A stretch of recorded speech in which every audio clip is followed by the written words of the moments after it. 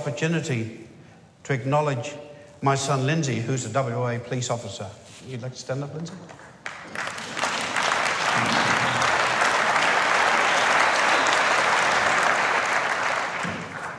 We must recognise the ongoing management of this volatile area within our community, which is at times motivated by alcohol, drugs, harassment, racism, and antisocial behaviour. Above all, we must learn to live in a way where respect is the driving principle of relationships and capacity building within our community. I believe the way to achieve this regarding our Indigenous community is by the state and Commonwealth giving back dignity to Aboriginal people. For too long now, our Aboriginal community have been victims and a part of a system that thinks it has all the answers, dictating the way things have to be, social experiments, and, and sometimes oppression. We need to embrace the beauty of our Aboriginal people and start listening to them. We need to engage with Aboriginal people and organisations in negotiations that have meaning and not just consultation that doesn't go anywhere. We must stop challenging native title, stop having to fight in courts for opportunities, and start respecting basic human rights.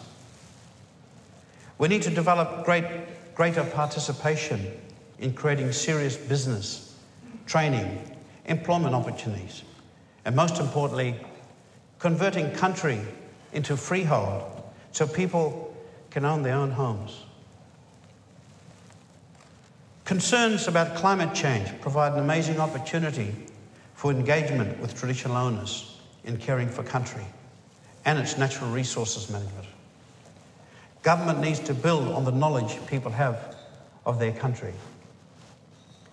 This morning I had a cup of tea with the governor, and he told me a story of his days working in the Yamaji country in the, um, outside of Cue, and he's building a bridge. And he shared a story as an engineer that he built the bridge a certain height. And an Aboriginal man named Harry Cross said he had a concern in his eyes, and the governor, the governor when he was uh, the engineer, said, uh, Do you have a problem with my design. And he said, I think you should give it one more foot. So he decided, yes, I'll give it one more foot. The next year, a flood happened, and the, the flood was six inches under that bridge. This could be a critical component of making new Australians become part of this nation and helping Aboriginal people overcome this refugee status. It also has the potential to grow our human family, as well as to grow our community and our nation. This way, we build capacity and allow Aboriginal people to engage in a proper manner with capital, equity, wealth, and sincere, honest negotiations and achieving true self sustainability. After all, would you send two children to race each other? knowing while that one is disabled or handicapped, knowing the other is going to win, but making them race and celebrating the winner. After all, this is the inequitable position Aboriginal people are coming from. Friends, believe me, I am committed to making a difference within our community. From mental health and well-being, including primary health, to the empowerment of my people to become, to become part of the broader community. Or even more importantly, and more radically, by inviting mainstream to become part of our Indigenous community. This is my journey in life, my calling.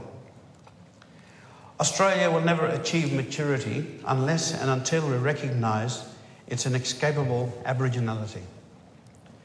As part of that process is taking place, in that we are in the midst of redefining culture. Above all, culture is our identity. This is who we are, and it defines our nationhood. As a West Australian and as an Australian, I am, like many of you here today, made up of other cultures as well. I identify as Aboriginal, but I must also celebrate the other cultures that carved me into who I am.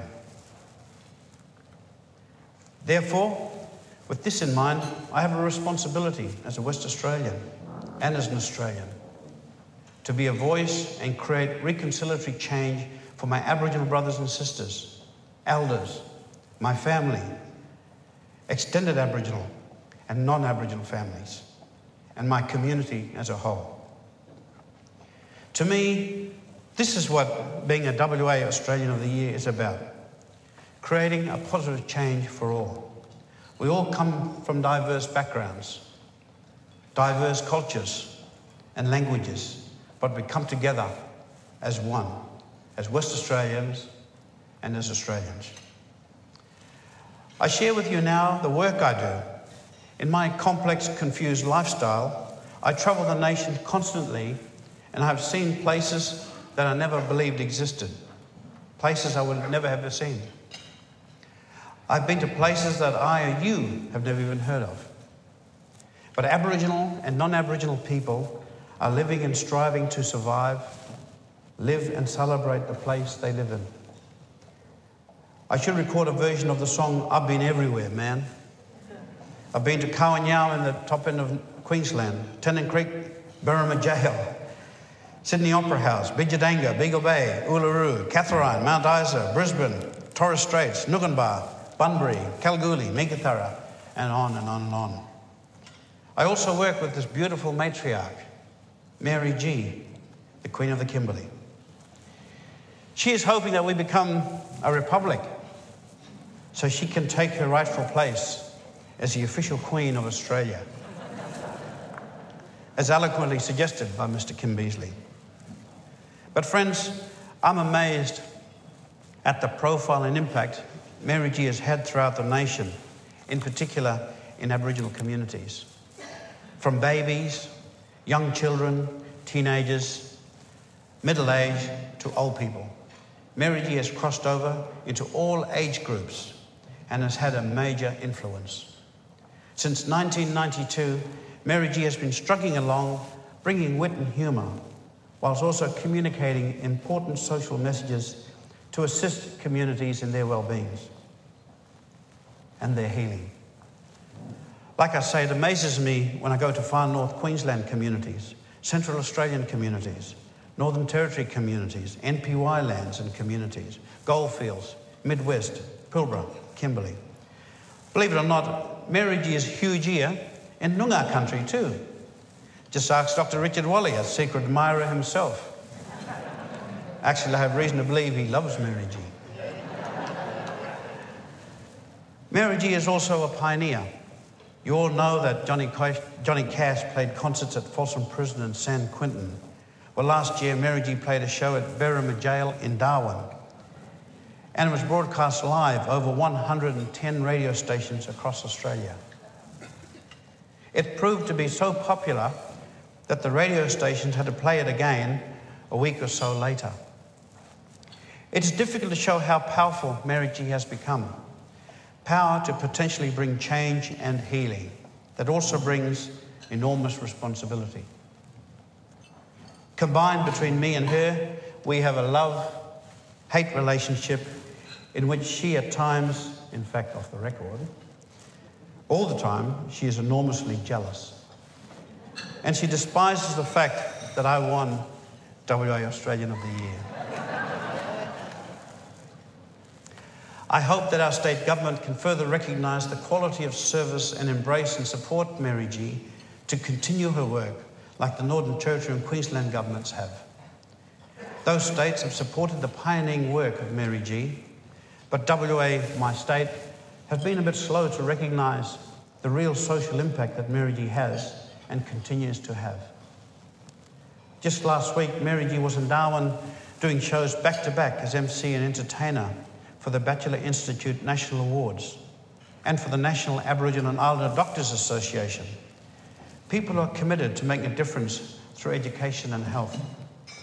A week before, I was in Cape York, far north Queensland, doing workshops with women and men on healing, self empowerment, and well being.